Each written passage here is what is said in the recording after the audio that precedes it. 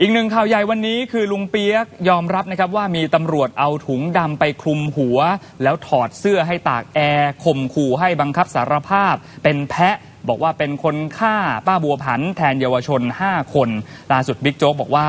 จะเอาผิดกับตำรวจที่เกี่ยวข้องทุกนายครับ พลตำรวจเอกสุรเชษฐ์หักพาน รองผู้บัญชาการตำรวจแห่งชาติ บอกว่าจากการสอบปากคำลุงเปียกให้การยืนยัน ว่ามีตำรวจที่กระทำพฤติการ คือมีการนำถุงดำมาคลุมหัว และให้ถอดเสื้อ โดยสรุปก็คือเป็นการบังคับให้รับสารภาพ หรือให้ได้มาซึ่งคำรับสารภาพ ซึ่งการกระทำแบบนี้เป็นการสอบสวนโดยมิชอบนะครับ วันพรุ่งนี้เดี๋ยวจะพาไปชี้ว่ามีตำรวจนายใดบ้างที่เกี่ยวข้อง เบื้องต้นวันนี้ลุงเปียกให้การยืนยันไปแล้วหนึ่งคนก็คือตำรวจนอกเครื่องแบบที่ใส่ขาเทียม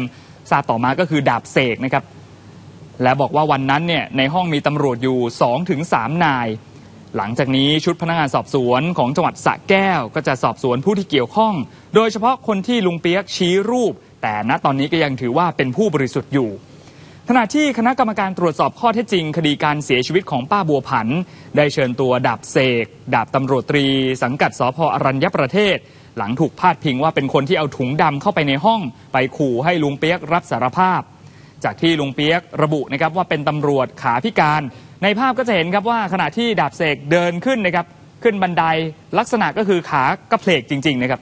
หลังจากนั้นเนี่ยก็มีการให้ปากคำกับตำรวจ พอตำรวจพาตัวดาบเสกออกจากห้องประชุมครับ ดาบเสกก็พูดเบาๆให้กับนักข่าว บอกว่าชี้แจงกับผู้บัญชาการตำรวจภูธรภาคสองไปหมดแล้ว วันนี้ตำรวจยังเชิญตัวผู้ปกครองของเยาวชนทั้ง 5 รวมถึงเชิญกรมคุ้มครองสิทธิและเสรีภาพ และเจ้าหน้าที่พอมจังหวัดสระแก้ว มาร่วมสอบปากคำผู้ปกครองด้วยซึ่งการเชิญผู้ปกครองมาในวันนี้ ตำรวจจะซักถามรายละเอียด และดูพฤติกรรมในคดี เพราะอาจจะเข้าข่ายความผิดตามพรบเด็กหรือไม่ แล้วจะมีการพิจารณาบทลงโทษผู้ปกครองหรือเปล่า ส่วนคำถามที่หลายคนสงสัยว่าบทลงโทษของลูกตำรวจกับคนธรรมดาจะโดนเท่ากันไหมก็จะต้องพิจารณาก่อนว่าผู้ปกครองที่เป็นตำรวจช่วยเหลือในการกระทำความผิดมากน้อยขนาดไหน ด้านพลตำรวจโทสมประสงค์เย็นท้วม ผู้บัญชาการตำรวจภูธรภาคสองมีคำสั่งให้ย้ายผู้กำกับสพอรัญญประเทศด้วยนะครับ ก็คือพันตำรวจเอกพิเชษศรีจันตรา ให้ไปช่วยราชการที่ศูนย์ปฏิบัติการ กองบังคับการตำรวจภูธรจังหวัดสระแก้ว จนกว่าการสืบสวนจะเสร็จสิ้น